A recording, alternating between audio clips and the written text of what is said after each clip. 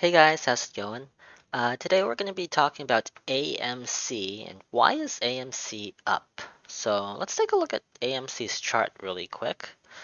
Uh, as you can see, uh, as of market uh, close on June, uh, right now, when was this taken? June 3rd, 4:29 a.m. Eastern Daylight Time EDT. So you can see that uh, mar at market close on the day before June 2nd, AMC was at uh, 62.55 and at uh, pre-market it's up uh, I think 13% about so it's up to $71.13 here as you can see. And this is like at a 52 week high and also like if you see the chart here if you click on max you can see it's like at a max all-time high from even back in maybe 2015 2017 you can see that at around there it was maybe about I don't know, maybe $35 a share ish. And now it's at over 70 pre-market. It's just that's crazy. It just shot up like that, like just straight up. And why is that? Why is that? So, I was uh, doing a little research online and I saw that according to an article by USA Today, link to this is in the description, uh, by the way, if you want to check it out. Uh, they said, uh, why is AMC stock rising? In short, because retailer traders, uh, aka like individual investors like you and me, people just who just uh, invest on their own without uh, maybe the help of uh, big financial corporations or something, like retail traders, they're loosely organizing a bid via social media messaging boards to drive up the company's shares. So it's pretty much like why is it going up? Just because a bunch of uh, people like individual investors, we you can call them retail investors, they just really want to buy AMC stock, but there's no real reason for it, as I can tell. They just want to buy it, so there's just a lot of people that want to buy the shares for no reason all of a sudden, and then that causes causes a sudden spike in the in the uh, share price. And uh, they also said, uh, according to the article, that uh, AMC raised more than $230 million by selling 8.5 million shares of its common stock to, uh, how do you say that, Mudrick? Mudrick Capital? And then uh, Mudrick had already moved to sell its stake at a profit. So what does that mean? That means that AMC is, uh, they're being smart about it. About this, they're using this time when the stock price is high to raise capital or raise money for the company. So how, how are they doing that? Well, AMC is creating shares for the public to buy. They're just like diluting their um, company a bit by saying like, oh, here's more shares if you want to buy more shares. They're just making it out of thin air. And normally that would decrease the value of the uh, price per share since there's like more shares on the market Eh, but the thing is, since demand is so high right now, it's actually not having that much of effect on it. And AMC is actually able to raise some money for the for itself, and maybe they could uh, maybe they could improve themselves as a company in the future with that money. So that's pretty good. Eight, $230 million by selling 8.5 million shares. Uh, so that's the news from the USA Today article, link in the description. And also, one thing I found interesting is uh, recently, I think maybe within the past couple days, two, three days or so, AMC is uh, offering free popcorn for investors. And this is from their AMC website. Uh, it says get an initial free large popcorn and investor updates if you're a current stockholder and then let us know. We'll send you special offers starting starting with an initial free large pop- popcorn just for signing up and the latest AMC Investor Connect updates. So AMC just released this Investor Connect thing where for now you can get a free popcorn if you join and you're a stockholder.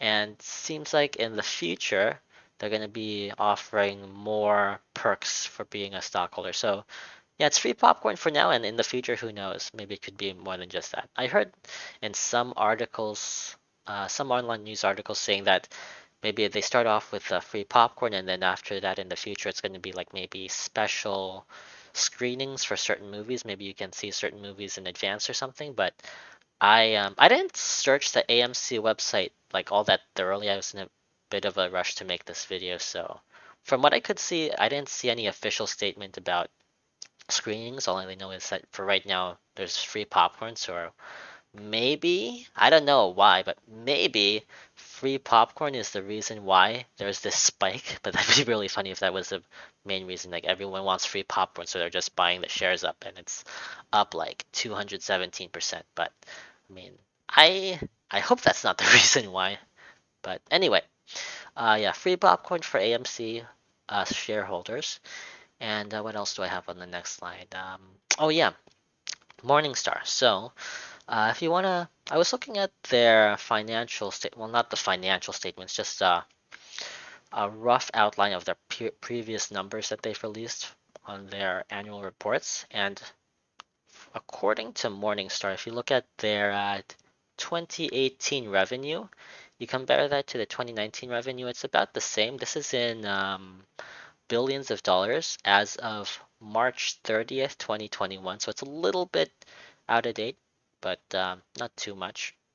The revenue was about the same from 2018 to 2019, but the thing is, if you look at net income, the net income was at uh, 0.11 billion dollars in 2018, and then it went down into the negative, so they were losing money by uh, 0.15 billion in 2019. So they were making money in 2018, and then they were losing money in 2019, and then 2020 the pandemic hit, and they're using, they're losing even more money. So if we look back at the chart, uh, yeah, you can see here, 2018 they were here maybe around, uh, no, and that they were in the teens, maybe early 20s, and then 2019 they started to lose profit profit so they were making they, they weren't making money they were losing money.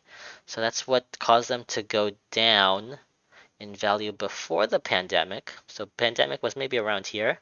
So like at this time before the pandemic even started they were losing money. So it caused their stock to go even further. And then all of a sudden i don't know this free popcorn thing happened and then this stock just spiked like crazy 217% to 6255 all-time high even though look at the chart here, you can see even though, like for the past 12 months, trailing 12 months, net income, they're still losing money. They're not even making money. So, I mean, that just doesn't make sense to me.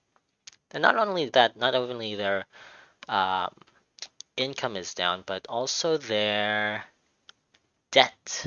Yeah, total debt. So 2018, debt was uh, at, this is also in the billions, 5.46 billion in debt. And then that skyrocketed it went up like crazy to 10.35 billion in debt. 2020 hit pandemic went up even further 11.38 billion in debt. Now uh for the last quarter q1 2021 they got it down a little bit but it's still quite high it's like what about more than double what it was in 2018. And also their cash, cash and cash equivalents, the cash on hand, it went down in 2019 compared to 2018. 2018 it was 0.31 billion, 2019 0.27 billion. You can see it's starting to go up and uh, as of Q1 2021, as of March 30th, 2021, it was uh, at 0.81 billion in cash. But remember like just recently they had this uh where was it? This 230 million dollars that they raised 230 million dollars in capital. So assuming that there was i'm not really sure how it works exactly but assuming that they did get to keep all of that capital like maybe there wasn't taxes or maybe fees or anything that would bring them up to like maybe a little over a billion in cash, a little over one billion dollars. One, ah, I can't speak right now. It's kind of late. A little over one billion dollars in cash, and I mean that's great. But you look you look at their total debt; it's still over eleven billion dollars in debt. So I mean, it it doesn't make sense for well in my opinion it doesn't make sense for the stock to be this high when in like 2019 at this time they were doing better financially as compared to now so i mean like in my opinion the share price should be like at around this level or maybe a little bit below since I mean they're not making money. And as far as I can tell there's uh they haven't made any announcements as to like anything like life-changing or innovative to the company like they're not improving their theaters in any means like there's no big news specifically about what AMC is doing to improve their product or the experience of people going to the movie theaters. So, I mean, I, I don't think it's going to go bankrupt at all. It's just, I don't see why it would go up that much when the product has, like, as far as that, from what I can see, it hasn't improved very much, or at all from what I can tell. But yeah. Anyway, uh, that's what's uh, that's what's happening with Morningstar. And on the last uh, last slide, I, or second to the last slide, my personal thoughts on AMC. I think it's gonna underperform the S&P 500 or the Spider, starting when the market opens on June 3rd, 2021. Uh, right now, the market's gonna open in about I think three or four hours from now. So we'll see uh, how that folds out. But yeah, whatever whatever the market price is right when the market opens on June 3rd, 2021, I think that's going to out uh, underperform the S&P 500 over I don't know, maybe the next year or two, maybe the next few weeks. We'll see what happens, but it's not something that I would personally invest in. There's other companies I would invest in other than AMC. But yeah, that's my thoughts on AMC. And uh, last slide, uh, final notes. Uh, for those of you who don't know, my goal is to outperform the Spider or the S&P 500. If you're interested in seeing how my personal picks are doing compared to the market, you can check that out in the description below.